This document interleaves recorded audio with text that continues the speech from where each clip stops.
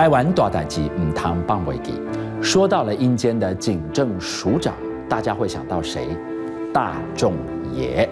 我们来看到在新北居然流传的这么一起事件，就说是里长领着上百位的李明拦下大众爷的神教，要跟他地上的状纸要来申冤。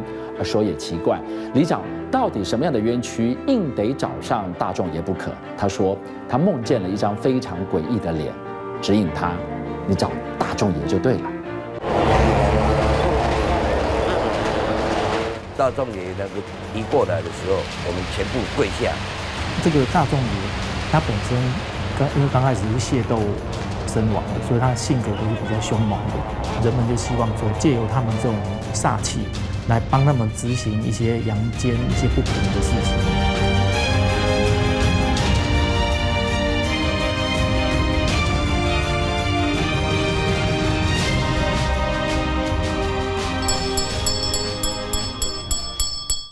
一边摇铃，一边念着一般人听不懂的咒语，祈求大众爷消灾解厄。供桌上这一叠印有马匹和盔甲的金纸，则代表大众爷的千军万马。他会调兵遣将为信众解决问题。他每天办的事情那么多，他的兵马可能有有限吧，我帮他补充补充。早孙讲阿妈阿妈，准你调车判给努力去下大众爷啊啊，迄旧年的代志啊啦。啊，我大概还有三工，迄警察局就拍电话来讲找掉啊。不光替信众协寻失窃的物品，素有阴间警察局长别称的大众爷，其实掌管的事情非常多。公布栏上一张又一张的红纸，写着感谢协寻机车，或者大小官司顺利解决，满满的感谢状，印证大众爷的灵验之说。这个大众爷，他本身刚因为刚开始是械斗身亡的，所以他的性格都是比较凶猛的。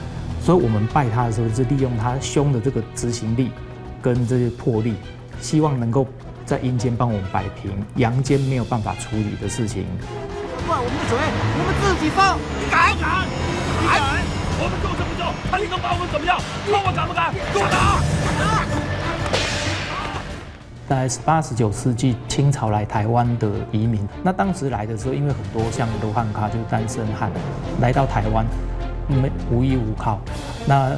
有可能在地方上是因为争取水源或争取资土地资源而发生的一些械斗，然后呃这些是无主孤魂聚集在一起，那当时的人把它合葬之后，就成为现在的大众爷。所以大众爷不是单一的神格，而是一个聚集的神格。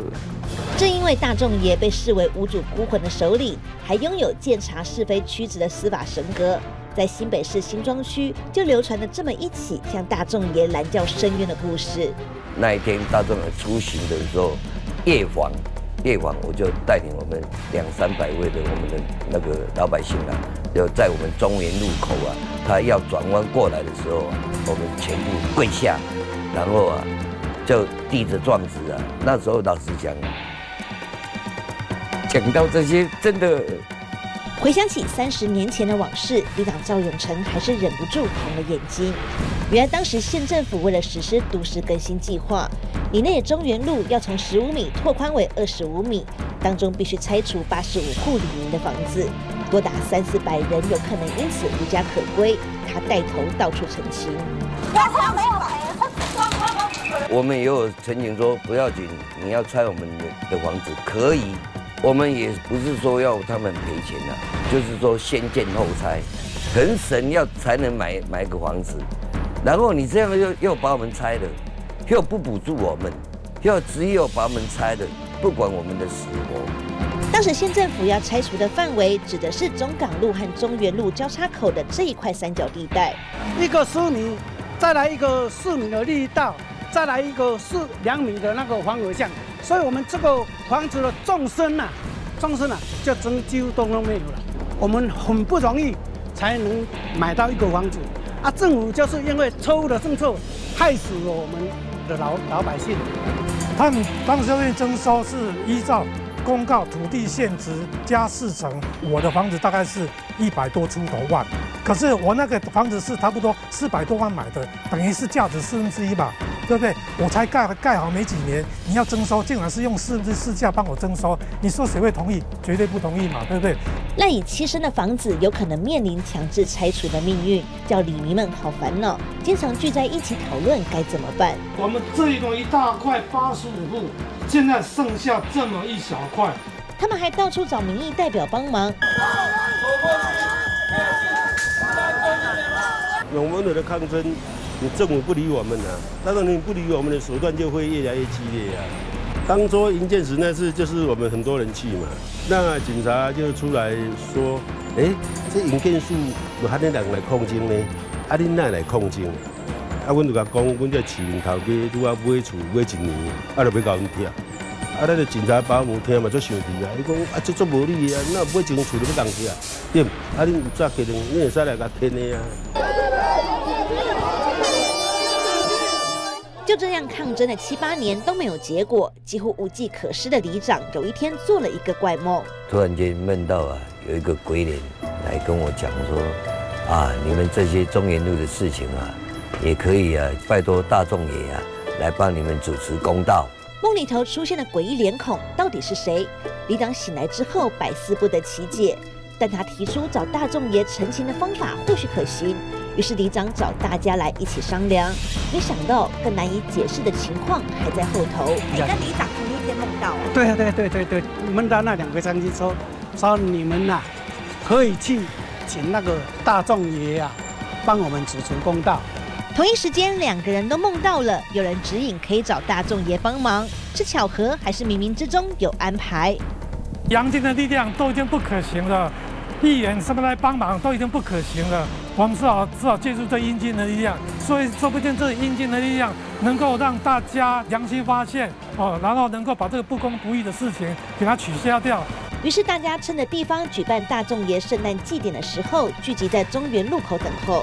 大众爷那个一过来的时候，我们全部跪下。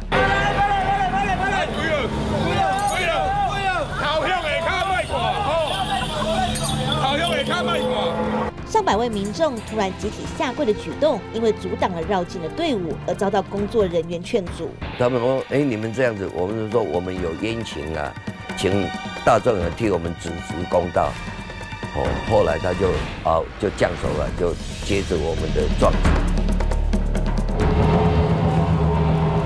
然后我们把状子递给那个降手，那个降手就是我所梦到的那个那个鬼脸。我才恍然大悟，就哇，这个大众也冥冥之就是说冥冥之中啊，来来相挺我们这些乡民这样子。原来出现在里长梦里的诡异脸孔，就是大众爷出巡时的护卫队关将手。将手啊，在念的时候啊，就有一阵风吹过来。那时候我我有问后面的，他们说，哎，怎么冷冷的这样子？有，所以说我们大家都有说。有感应到说，大众也有替我们有主持公道。神奇的是，在那一天向大众爷拦轿申冤之后，原本焦灼的陈情状况开始变化。我们去的时候，哇，警察就很多，一整排。然后我们我们会丢鸡蛋呐，可是后来啊，老子有时候丢到警察的时候啊，我们心里是很痛，跟这个警察没关系呀，对不是你们县政府的事情啊，起舞完了。然后每次的抗争呢就很顺利，因为不然我们看到我们抗争到县政府的时候，县政府的警察马上都全部回家，呃就有通风报信。哎，后来我们在抗争了就没有了。前前后后花了十三年陈情，原本要拆除房子的八十五户李民终于保住了自己的家。而这一段大众爷帮信众申冤的故事，也在地方慢慢传开。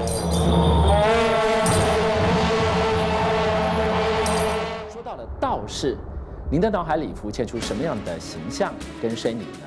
我们接下来给您介绍的这一位，他非常的接地气，也非常的另类。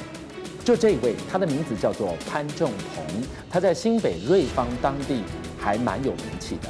除了在庙里帮人收金、让人问世之外呢，另外一方面，他也在国立海洋大学攻读硕士的学位。但您可能要问了，不过就是道士吗？为什么要读这么高的学位呢？说到底，这个举动。跟他父亲大有关系。才一大早，瑞芳小镇这间公庙门前就挤满大批人潮，原来是为了收金而来。你搞你甲抱起来，抱起来好看。哎，免惊免来，哦，乖乖哦哦。不分男女老幼，全跑来庙里请道长收金消灾，是因为这是一项免费提供的服务。收件去外口是拢爱钱的呢，啊，用免你也只要庙会，后讲办什么活动，伊人后来的时，活动一个阶段，休困的时间，什么人来的时，拢免费该收件。你事真好啦。嘿，爱读书来甲咱，吼，咱消灾啦，是讲年节安尼要创大年节要创啥，伊拢会来，伊来甲咱服务。信徒口中热心的道长名叫潘正鹏，只要每逢农历初一、十五，都可以在新北瑞芳的大小庙宇看见他，免费替人消灾祈福。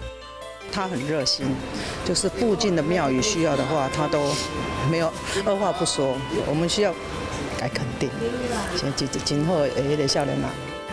备受村民认可的年轻道长，为什么要牺牲赚红包的好机会？一切都是为了他。我上个香跟他讲，说你的儿子以前是怎么不堪的，那我现在有借借这个机会，好，我慢慢有在做回馈的事情。那我愿意把这个回馈的事情一直做做到我终老的那一天。早逝的父亲是潘正鹏心里最大的遗憾，因为不管是消灾祈福，或者是驱邪避煞的道法科仪，全都来自于爸爸的传承。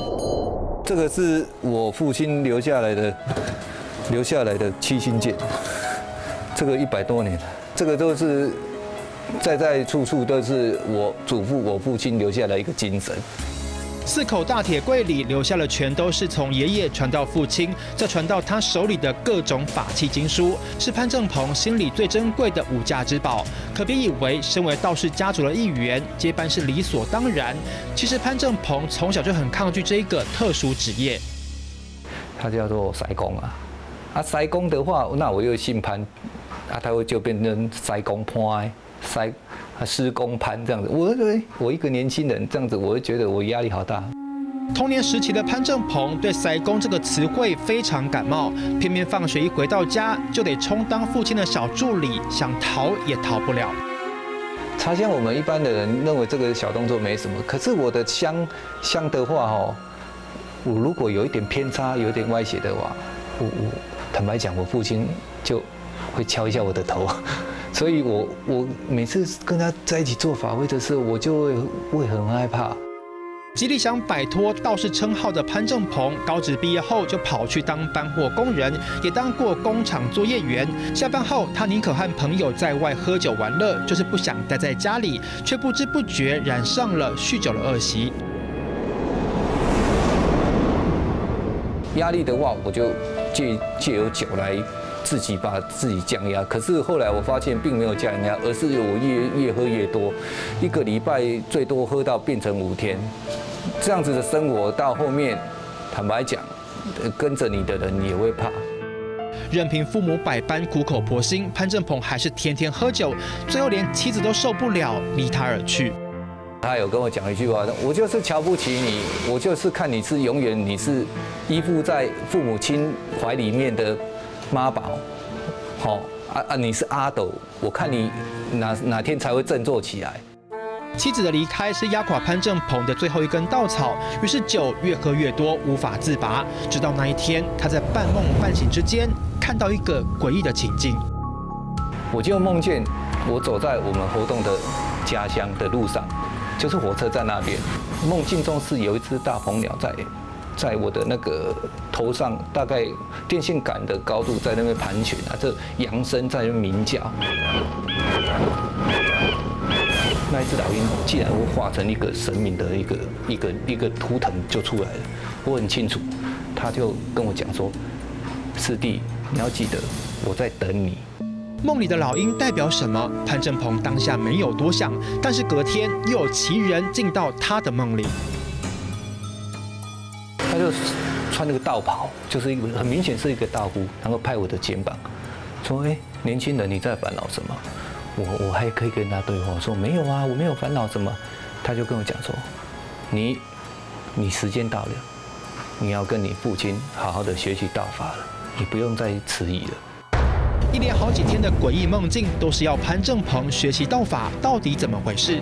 难道是神明显灵点化他吗？这时候的潘正鹏决定挥别酗酒、失婚的阴霾，不再醉生梦死，让父亲失望。爱天尊哦。废教塞公又怎么样？重新振作起来的潘正鹏，不再执着于外界异样的眼光，毅然决然接下父亲的棒子，还去报考大学夜间部，重回校园精进自己。我是三十五岁才回去读大学，在读大学的时候，我就下定决心，我在神明的面前，我就发誓，我从此以后我要戒酒，啊戒烟。学道之人本就是在纯净，啊比较淳朴的自己。晚上念书进修，白天接法会。潘正鹏忙到几乎没有喘息的空间，就是也是蛮蛮痛苦的，因为打字我只能用所谓的一阳指的方式，就哎呀一字一字这样按。可是每一份报告都是四五千个字，为了要做这个功课，常常啊做到差不多半夜的时间。拉开橱柜，拿出每一颗都是九十分以上的成绩单，还有满满的奖状，这全都是潘正鹏大学生涯努力用功的回报，但是却来不及跟父亲分享。他连我大学毕业的那个参加那个毕业典礼，或者看到我穿学士服的样子也看不到。可是我曾经有跟他承诺，我最后握住他的双手，在在病榻上握了奖。三年前，潘爸爸突然脑中风，躺在医院里昏迷不醒，撑了四天就离开人间。但是浪子回头的儿子却还有好多话想跟父亲说。他虽然那时候他已经没有办法跟我回应了，可是我我有在他耳朵讲：“我爸，你你你绝对放心，有朝一日我大学毕业，我考上研究所，我会哎烧个香跟你讲了。”烧香跟天上的父亲禀报，过去荒唐的儿子已经脱胎换骨，努力向学的潘正鹏，在去年以第三名的好成绩录取海洋大学海洋研究所的硕士班。因为我们的家族里面，目前为止还没有人能读到研究所，也希望是说给天上的父亲一个好的礼物，这样子，让他们知道你们辛苦没有白费，这样子。三个强调，第一个黄金周，第二个什么暑假，第三个什么过年。认真听教授讲课，潘正鹏聚精会神，在学生清一色都是小鲜肉的教室里，这位大叔同学显得有些突兀。是他进来之后，老师跟我们提起他是导师，我们才知道相处上就很好，对，就是跟一般就是同学这样子相处，我们没有什么特别机会。这个是第三关的吧？没有啊，就最后一关啊，最后一关，就最后一关哦。嗯。哪怕眼前这一位学长的年纪都跟儿子差不多了，潘正鹏还是虚心讨教。在教授眼里，平日里舞刀弄剑画符的道长，在校园里并没有与众不同。他的精神是很可佩的哈，从来不出席缺席哈，啊，从来不缺席。然后呢，这个这个又又又不懂哈，就马上问一些这个前辈哈，我们就想想说，你既然来了，我们就多给他这样子宗教还有文化。方面的知识，然后能够提升提升他自己的内涵。才刚念硕一的潘正鹏已经想好他的论文题目是研究瑞芳的宗教文化，希望让故乡猴洞给外界的印象不再只是猫村而已。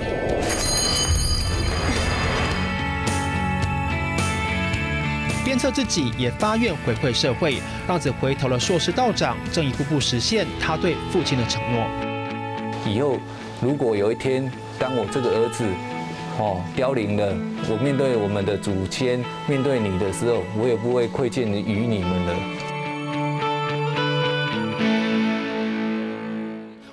来看到是这一位年近半百的里长曾仁杰，他出身望族，但是从小却不学好，入了黑帮，还染上了毒瘾，前前后后花了十年的时间才把毒瘾戒掉。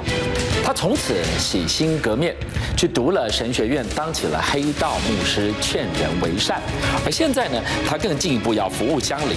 我们一块来看看这位黑道牧师多了个身份，里长。丝毫不理会尘土飞扬，社区妈妈们卖力清扫落叶。这是台中市东区乐城里每天例行的环保活动，但仔细瞧，怎么万红丛中有一点绿？无，恁阿母较他拄要甲我讲讲，你随时甲迄台脚踏车牵去送哦。对对对，就一个遐囡仔阿文斌嘛，总欢喜啊。对啊，伊就是社区妈妈口中的好人阿杰是新上任的里长曾仁杰。由于他在当里长之前的职业很特别，地方还习惯这样叫他。不是里长，不是里长啊。别看他现在和大家相处的一团和气，过去可是当地响叮当的头痛人物。较早爱生人伊嘛会食多啊，真的改变太多，太太多了，改变真的是已经棒突然的。选里长，你有吓到吗？我不会像他，我觉得哈，人回头才是真的是棒的啊。面对李明向记者爆料自己的荒唐事，郑仁杰居然不像一般人急着掩饰，反而心无挂碍，娓娓道来。首先带我们来到地方历史最悠久的土地公庙。曾万鼎，阿公的名字为什么在这边？我刚当过保证啊。不光阿公当过日治时代的保正，爸爸也曾经做过里长，曾家可说是名门望族。当年曾仁杰的诞生在地方更是大事一件，因为在连生三个女儿之后，曾爸爸终于在五十二岁的高龄喜获麟儿。大家甲阮头家都迄迄个时时代较爱查甫，从足济迄个油饭摕出来，阮的店口安尼方食。哎，啊，佫无当紧刷到阮即个陆生乡，阮大家啊，哦，可能有去共迄个啊，嘛去做一病。小时候要什么爸爸都会给。我记得小学五年级要一台捷安特，可以飞，有没有？大概四十几年前啊，五六千块啊，算数目不小。他叫我拿给我叔叔，他说你带他去去买。但天之骄子却因为个性好动，不喜欢读书，让一向疼爱他的爸爸伤透脑筋。讲到这个，有时候很心很痛。我的大姐、二姐、三姐，她们的功课都不错，常常在学校就是好像会被笑。一个老师说：“你知道颜渊不二过吗？你知道颜渊是男的女的，你知道吗？”就要众人面面前问我，其实当下我很刚很囧在那边，我不知道怎么回答。从小被父母捧在手掌心的曾仁杰，自尊心特别强，因为学业方面得不到成就感，小小年纪的他转而寻求其他管道的认同。我们这里有一个算一个嘎桃，他们就在玩这些八家将啊、十家将。朋友就说：“你敢吗？”我说：“那有什么不敢的？拿起来就砍了。”痛啊！痛啊！就好像一个面子问题。那时候觉得说要出来混嘛，那有什么不敢？可现在想想，好像很好笑，有点傻傻的。回想起这一段放荡岁月，曾仁杰自己都觉得好笑。但当时的他不懂事，一心想在黑帮闯出名号。他不会演电影《蒙家》里的逞凶斗狠情节，就是自己的生活缩影。十八九岁的时候，就是会跟着大哥啊去酒店啊，很好奇啊，他们每天都穿很漂亮，很帅，哦，穿得很拽啊，然后都有名车可以开，对，然后就觉得好像就被他们吸引。被花花世界吸引的他，越混越大尾，却也渐渐迷失自己。当兵放假回来，那都舍不得睡觉，就一直玩，一直玩，连连续玩了三四四天，就喝酒。不晓得他们在吸安非他命，他说这个可以提神。一个念头偏差，曾仁杰从此沉沦毒海长达十年。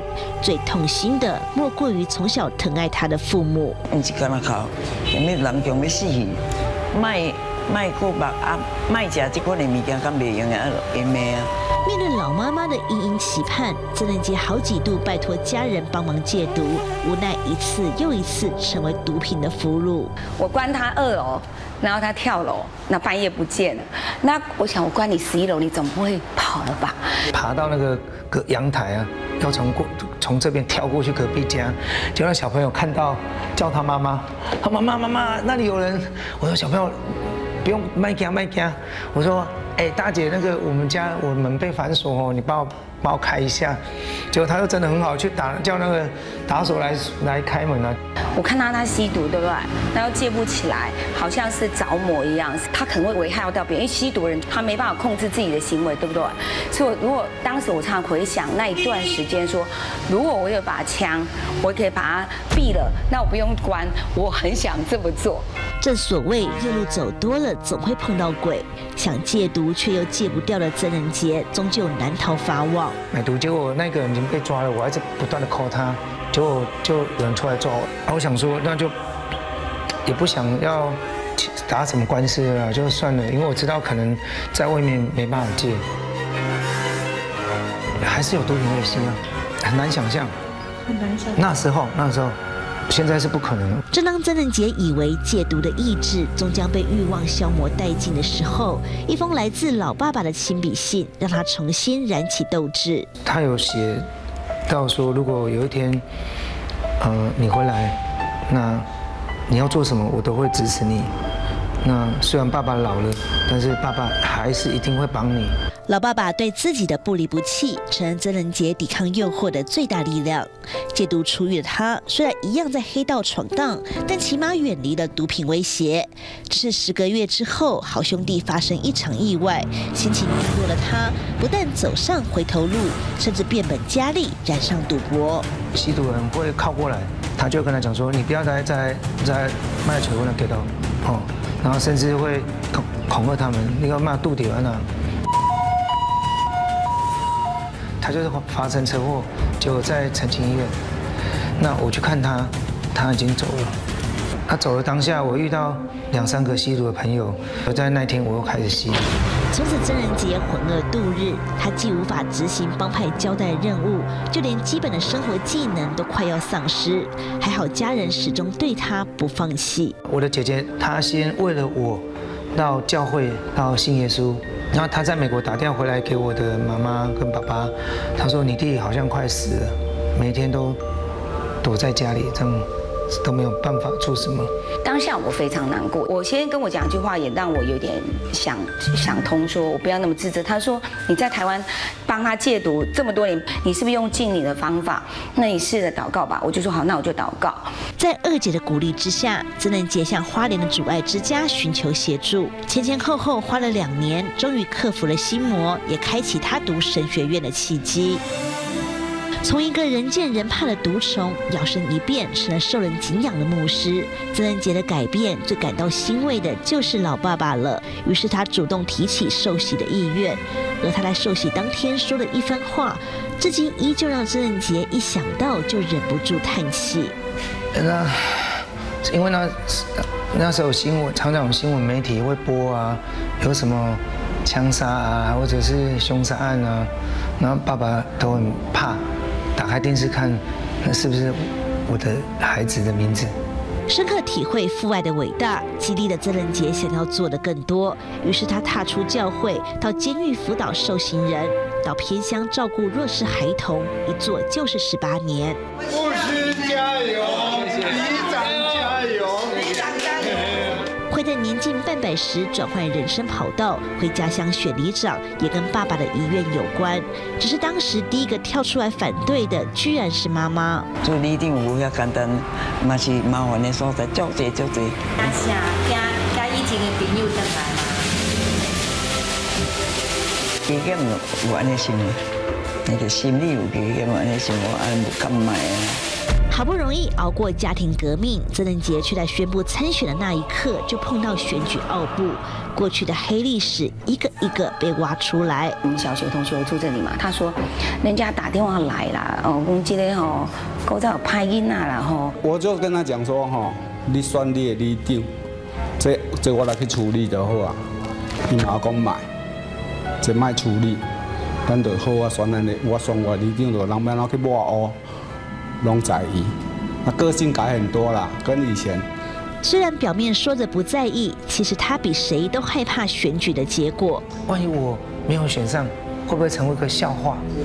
会，我因为毕竟会被人家觉得生命是一个笑话。因为从我过去我就觉得我是一个笑话，因为我是一个吸毒者嘛，然后被关过，那是一个笑话。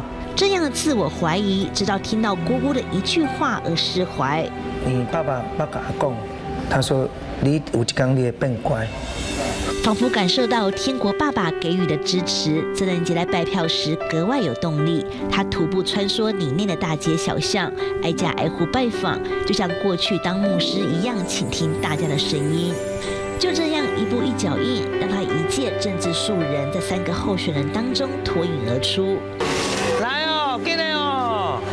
只是高票当选并不是故事的结尾，因为脱下牧师袍的曾仁杰，就像从神界重回凡间。